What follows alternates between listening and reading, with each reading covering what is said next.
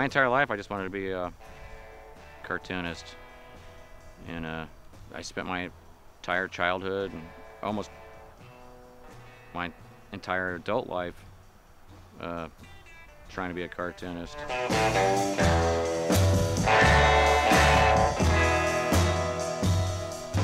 know, wanted to join the army. I want to be an illustrator. Said no, there's no slots open. You can be a photographer. So I was like, I know photography. I can do that. That'll be pretty easy.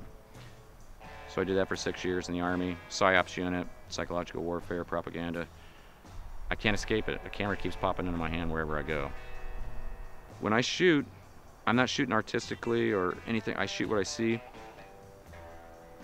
In that split second when I hit the, the shutter button, it's like the world, everything outside of the viewfinder, everything, whole entire world disappears. It's just that one moment that that's tiny fraction of a second where you see something, you know, whether it's a, a baby smiling or the wind blowing the hair across a, a girl's face or, you know, a bride and a groom looking at each other before they kiss.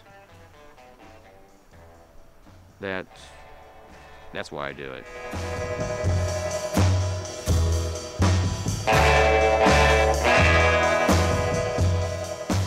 Well, I remember reading an article. Uh, uh, it was an interview with Dennis Hopper, who was a photographer, you know, besides a, a movie actor, and uh, James Dean gave him the advice because Dennis Hopper had taken some photos and he was trying to crop them, and James Dean said, "Don't crop them. This is how exactly how you took it.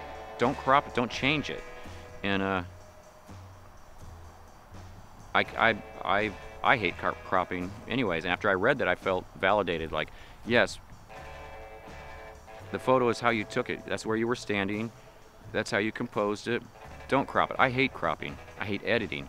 I try to get it right every time I take a picture. Exposure, film speed, composition. You know, and I hate throwing photographs. I hate deleting photos. Uh, I've got every photo I've ever printed in the Army. I've got all my negatives you know, I've got everything in a box.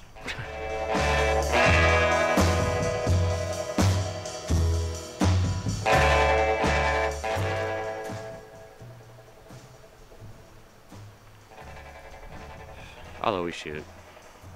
So, uh, whether I make money at it or not, I don't care.